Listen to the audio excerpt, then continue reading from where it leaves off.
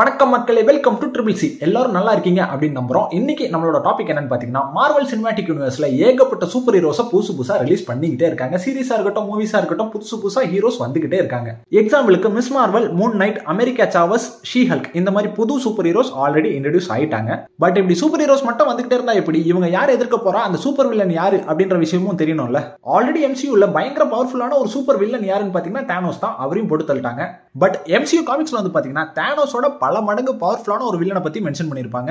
அது வேற யாரும் இல்ல காங் த காங்கரர் இவர் வந்து பாத்தீங்கன்னா லோகி சீசனோட லாஸ்ட் எபிசோட்ல ஆல்ரெடி இன்ட்ரோ ஆயிருப்பாரு. அண்ட் இவரோட ஸ்ட்ரென்த் என்ன அப்படின்னு பாத்தீங்கன்னா இவரோட கண்ட்ரோல்ல ஒரு டைம் ஸ்பேஸ் ஷிப் இருக்கும். அதை வச்சுட்டு இவர் யாரோட பவர் வேணா திருட முடியும். பேசிக்கா காங் வந்து பாத்தீங்கன்னா தேர்ட்டி செஞ்சுரியில பிறந்ததா தான் காமிக்ஸ்ல எழுதப்பட்டிருக்கும். ஸோ அப்ப இருக்கிற டெக்னாலஜி எவ்வளவு அட்வான்ஸ்டா இருக்கோ அந்த அளவுக்கு இவரும் அட்வான்ஸ்டா இருப்பாரு. ஸோ இதை வச்சு தேனோஸை கம்பேர் பண்ணி பாக்குறப்ப தேனோஸ் டுவெண்ட்டி ஃபர்ஸ்ட் செஞ்சுரி வரைக்கும் தான் பாத்திருக்காரு. ஸோ தேர்ட்டி செஞ்சுரியில் என்ன நடக்கும் அப்படின்ற விஷயம் கூட தேனோஸ்க்கு தெரியாது. அதனாலே காங் தேனோஸோட ஆப்வியஸா இன்டெலிஜென்டா தான் இருப்பாரு. அண்ட் மோர் அவர் தேனோஸோட பவரை இன்க்ரீஸ் பண்ணோம் அப்படின்னா கண்டிப்பா இன்ஃபினிட்டி ஸ்டோன்ஸ் இல்லாம அது பண்ண முடியாது. ஆனா காங் கிட்ட இருக்கிற அட்வான்ஸ் டெக்னாலஜி இந்த இன்ஃபினிட்டி ஸ்டோன்ஸோட பயங்கர பவர்ஃபுல் அப்படின்ற மாதிரி தான் காமிக்ஸ்ல மென்ஷன் பண்ணிருப்பாங்க. ஜென்ரலா அவெஞ்சர்ஸ் என் கேம் இவ்வளவு பெரிய ஹிட் ஆகிறதுக்கு ரீசன் என்ன அப்படின்னு பாத்தீங்கன்னா ஹீரோக்கு ஈக்குவலான பவர்ல தேனோஸை காட்டியிருப்பாங்க. அண்ட் அவ்வளவு பவர்ஃபுல்லான வில்லன் தேனோஸை ஆடியன்ஸ் எல்லாரும் அக்செப்டும் பண்ணிருப்பாங்க. அதுதான் இந்த படத்தோட பெரிய சக்சஸாவே அமைஞ்சது. ஸோ இதே லாஜிக்ல தேனோஸை விட காங்க தான் ஒரு பெரிய வில்லனா பொட்ரே பண்ணிருக்காங்க. ஸோ அவர் எப்போ ஆக்ஷன்ல இறங்குவாரு அப்படின்றத பொறுத்திருந்து பார்ப்போம். அது வரைக்கும் சப்ஸ்கிரைப் பண்ணுங்க. சந்தோஷமா இருங்க.